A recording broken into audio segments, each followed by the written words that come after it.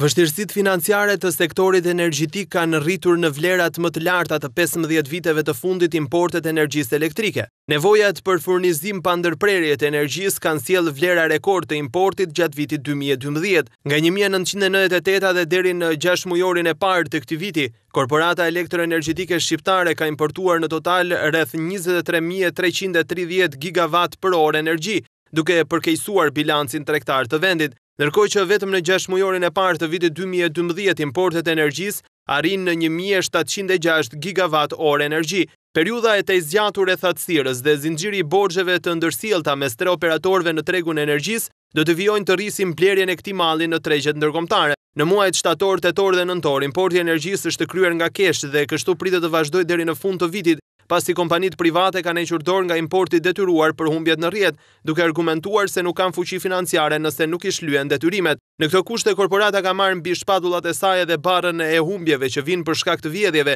apo pamundësisë së arkëtimeve nga kompania private, duke e rënduar edhe më shumë situatën e vet financiare. Me këto ritme, ku në periudha optimale po importohen tetë milionë kilovatorë në ditë energji, importi total pritet të kalojë kufirin prej tre mijë gigavatorësh. Në këtë vit qeveria ka hyrë në bisedime me Bankën Botërore për marrjen e një kredie që arrin njëqind milionë euro për të siguruar importin e energjisë deri në fund të muajit shkurt.